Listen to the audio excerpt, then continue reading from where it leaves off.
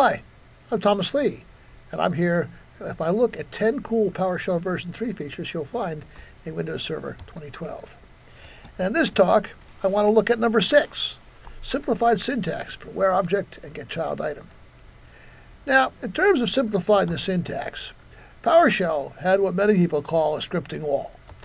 It was really simple to call get process and pipe that to sort by CPU, and to sort that to select name and CPU. Very simple. I type the verb, or in this case, I actually type just an alias to a commandlet, and then a couple of properties, and PowerShell does what we'd expect. The problem becomes when I start to use the where clause. And so if I wanted to filter out just those processes whose name matched the string power, using a regular expression match, um, I had to put in these dollar underscore and curly brackets, and I could see in my classes for years people thinking one look at that, their eyes glazed over, and but in V3 for single expressions, we can now do something very simplified, where name matches power. And I think for most people that makes a lot of sense. Now, it turns out that for more complex expressions, where I have multiple expressions, where A and B or C and D, I still have to use the old-fashioned dollar underscore and curly brackets, but for the vast majority, that simple that syntax works.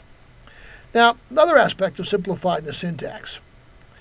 If I wanted to call a method on a series of commandlets that I've processed, obviously that I've processed, get processed where some condition, and I want to kill all those, I had to in version 2 use a for each command, for each dollar underscore dot kill. Now, once you get to know PowerShell, that makes a lot of sense. It's pretty easy, but it was a real barrier to people. Now what we can do is simply pipe it straight to the kill method, and PowerShell knows when I type pipe kill, I'm actually saying call the kill method on any object left in the pipeline. the third thing I can do is, which was really, uh, uh, uh, I really missed from DOS and from um, command.exe.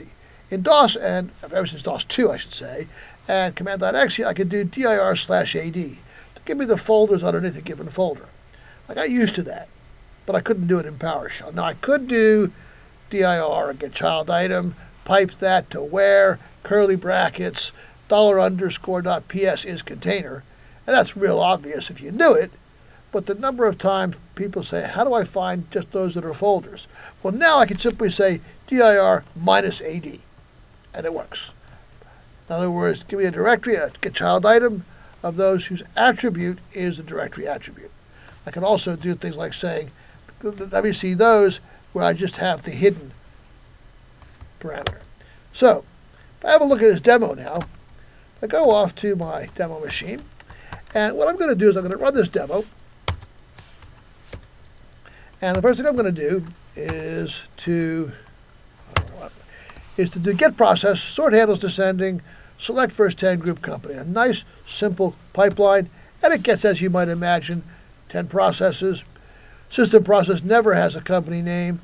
So, so it's no surprise, I guess, since I'm using just a base Windows Server install here, that the top 10 handle using processes are for Microsoft. I hate to think how many lines of VB script that would take to do, but it's nice and simple, I think most people can get that. It was the where clause. So I had to do this curly brackets. This worked. This worked really well. And there I have all those who match the regular expression of the wildcard string power. So PowerShell. Now, I can now just simply say where name like power. And it works. And notice I didn't get to put the quotes, quotes in because PowerShell is smart enough to know the thing following the like is a string. I thought it was explicitly quote it. Again, a real simplification. Okay, now let's start with a few cal calculators. I'm just going to show you this.